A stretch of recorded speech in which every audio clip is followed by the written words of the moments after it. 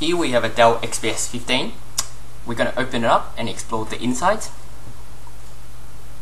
For today's disassembly, you'll need a T5 star-shaped screwdriver and a Phillips head screwdriver. There's six screws to remove the, with the star-shaped screwdriver.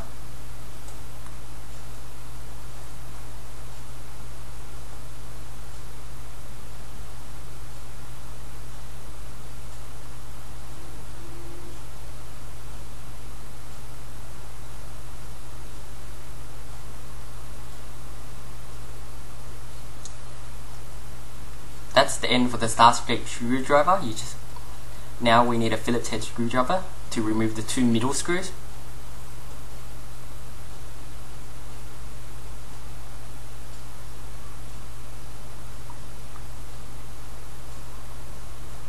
Now all the screws are removed, we can open the back cover. Remember to open it gently as there's a cable attached to the back cover, which is the battery indicator.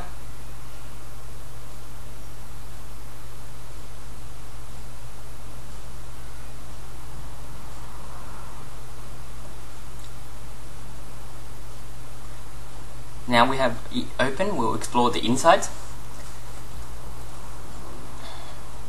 So that's the DVD drive, the, the battery,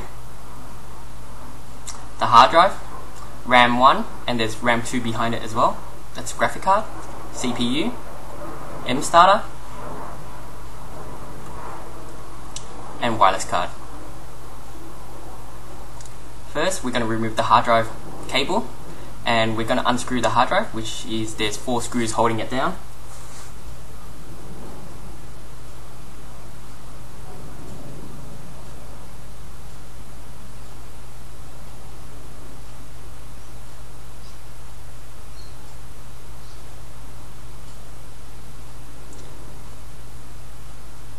I just removed the battery cable as it was blocking the way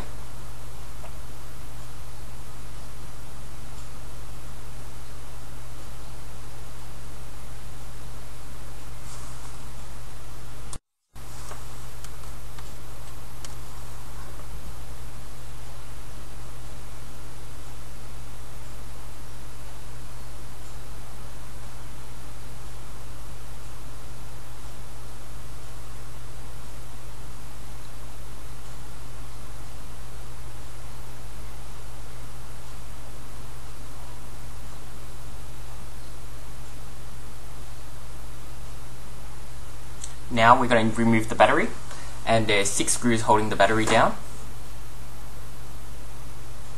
Screw 1, screw 2, screw 3, 4, 5 and 6.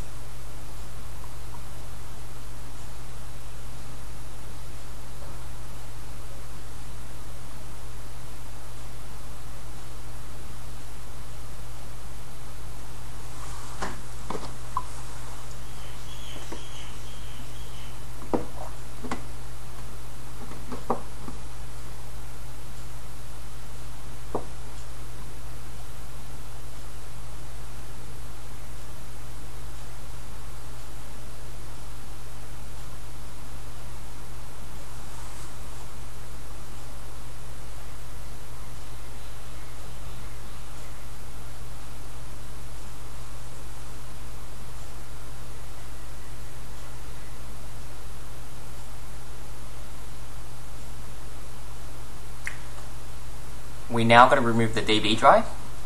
There's one screw holding it down.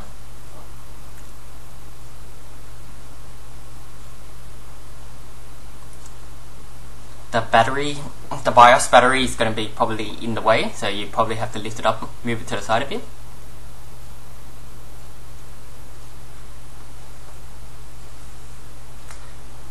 And release the cable holding to the motherboard or the DVD drive.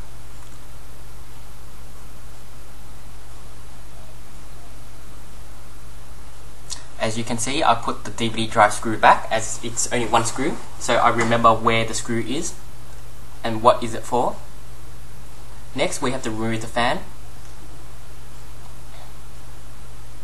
There's two screws holding the fan down. And we're going to remove the fan cable as well connecting to the motherboard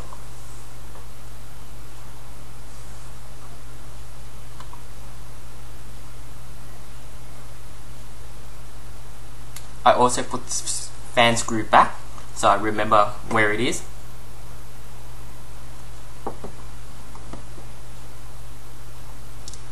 Next, we're going to try to we're going to remove the motherboard. Remember to remove all cables attached to it, which is the wireless card cable.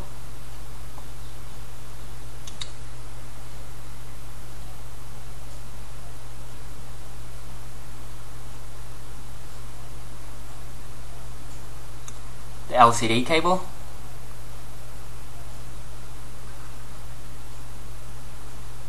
I'm also removing the RAM to check if there's any screws underneath it.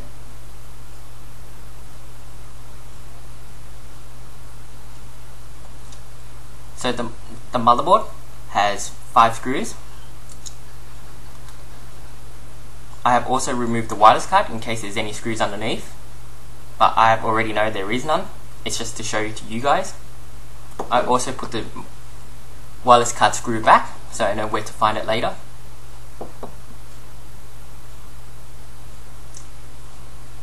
So as I said before, there's four, five screws holding the motherboard down. There's one, two, three, and fourth one.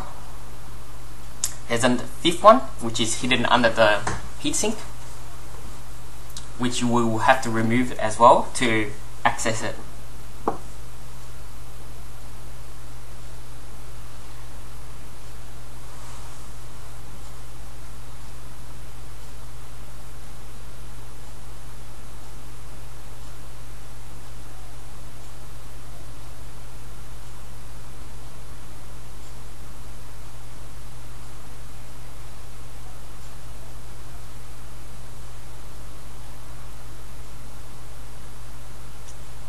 We're going to move all the cables attached to the motherboard. There should be the keyboard, the keyboard backlight, the speakers, and the other speaker.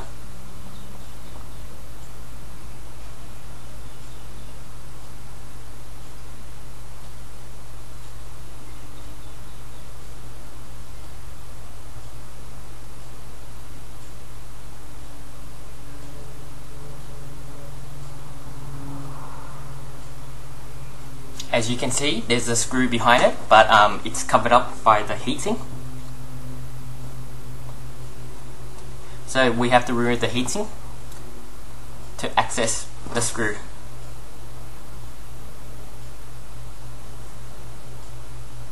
There's a five there's five screws on the heatsink they also numbered 1 to 5 so when you screw it back in please um, please to please screw back it in order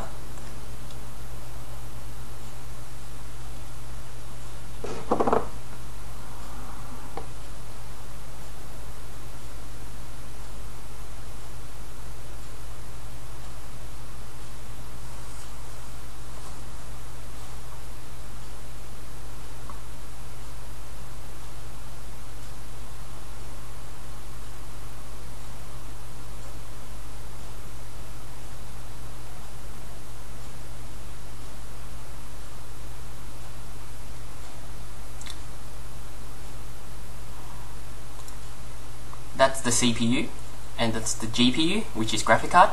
And there's RAM slot at the back of the motherboard as well. And that's basically it.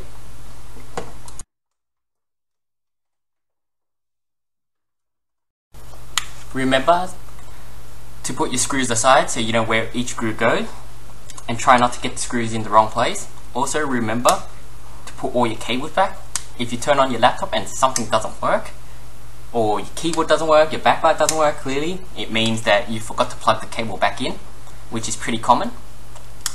And thanks for watching.